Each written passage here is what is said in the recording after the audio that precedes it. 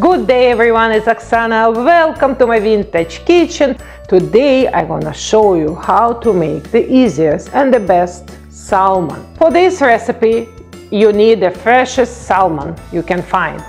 Here in Canada we just take it from the bears but if you don't have your local bear who is supplying with salmon, you can go to supermarket, it's good enough. You can use any salmon, salmon fillet, I use salmon steaks, any salmon will be good for this recipe.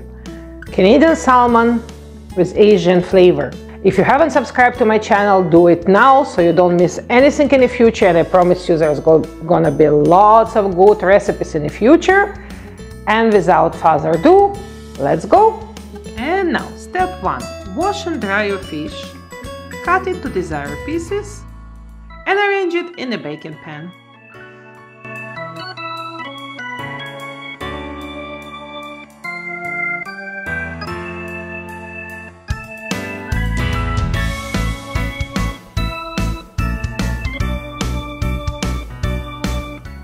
Step 2. Combine together maple syrup, soy sauce and vinegar.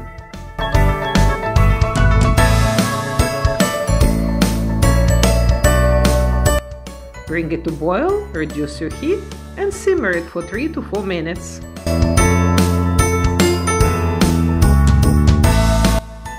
Brush your fish with prepared sauce.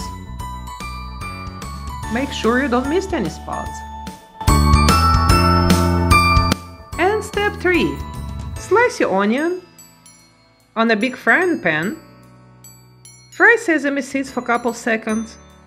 Add your onion, mix it well together and fry on a medium heat until onion and nicely golden.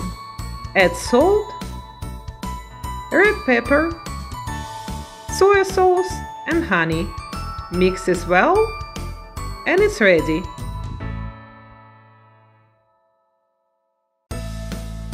Now apply your onion on top of your fish and bake it for about 15 minutes. Your fish is ready to enjoy.